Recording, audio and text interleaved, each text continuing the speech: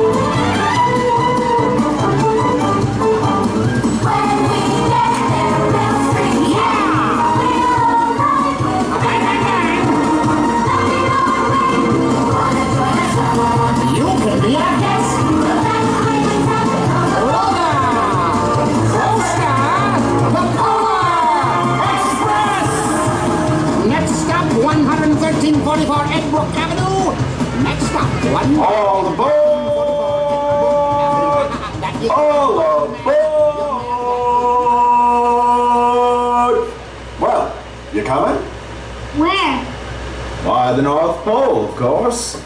This is the Polar Express. The North Pole? I see. Uh, here, hold this. Is this you right here? Yeah. Ah, let's see. Says here, no photo with the department store Santa this year. No letter to Santa. And you made your sister put out the milk and cookies? Really? Seems to me like this is your crucial year. And if I were you, I would think about coming on board. Now, come along. We've got a schedule to keep. No? Well, suit yourself. Wait! Are you coming? Good. Now, who else here is going to the North Pole? All aboard! All aboard!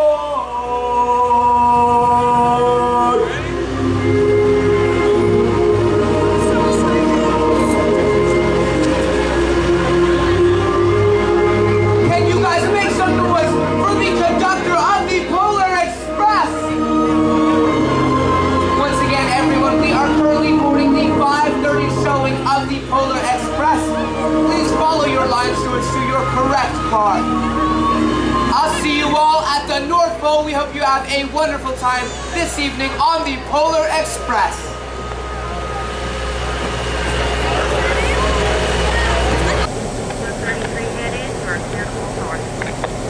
One thirty-three going north.